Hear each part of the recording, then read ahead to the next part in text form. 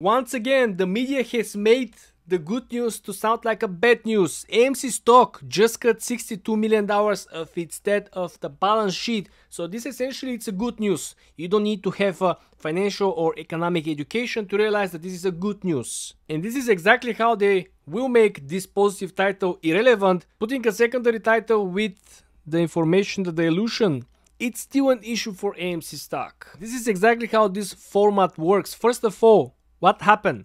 AMC repurchased or exchanged debt for equity of the tune of around $63 million. Good news.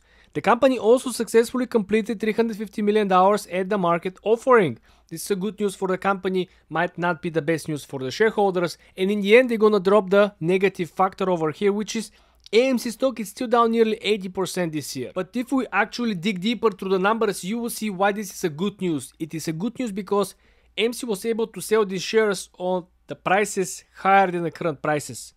The ATM offering resulted in sale of 48 million shares at average price per share $7.29 which guys for the first time indicates that Alameda didn't actually drop the shares at the peak which the current peak was above $8 a share so this time around he actually missed or this time around he chose a different strategy. He didn't decide to sell on the biggest run-ups that we have recently. But essentially it looks like that they simply saw that the stock might go even lower. So this is why they decided to drop the prices at the mid-range. And guys, the debt on the balance sheet is simply melting. So far this year AMC was capable to raise around 900 million dollars in gross equity capital uh, and lower the liabilities for approximately 440 million by reducing corporate borrowings. Remember, the interest on, on these particular obligations might actually go lower, considering that the Fed might start cutting the interest rates in uh, the middle or the beginning of spring. So this might actually go even lower.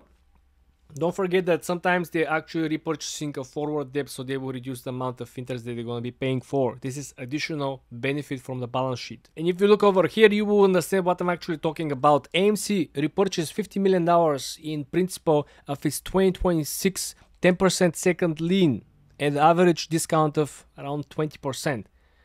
Uh, so understand what kind of discounts and how much money they could actually save by doing so.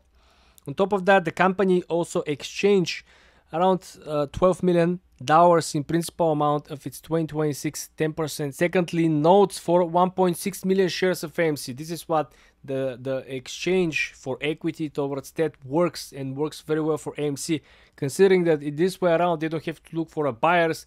They don't have to you know spend time uh, you know use third party you know company to simply help them to find buyers for this particular equity on the open market. They can simply you know exchange debt for equity. This works for both parties considering that uh, the, the the party that actually collects the equity hopes that amc uh, will go higher. Will back to fundamental value many many many speculations. 15 20 35 all the way up to 40 dollars expectations for fundamental value increase of the prices simply because when amc clear, clears up debt which is melting very very fast astonishing fast uh, you probably expect that the stock uh, has to go higher, right? So their return on investment could be, who knows, 5, 10, 15, 20x. Not a financial advice. And this is exactly how they can actually transfer good news, positive news, bullish news for the fundamental value, not only for AMC, but scroll through the news and try to find some bullish news, something that change particular company's fundamental value and you will always find a negativity you will always find something that uh, you know will make the good news smaller and smaller uh, while on the other side you will have much more negativity and expectations for bearish trends. Uh, this is my opinion over here guys. Let me know is this a good move in the right direction for Adam Aron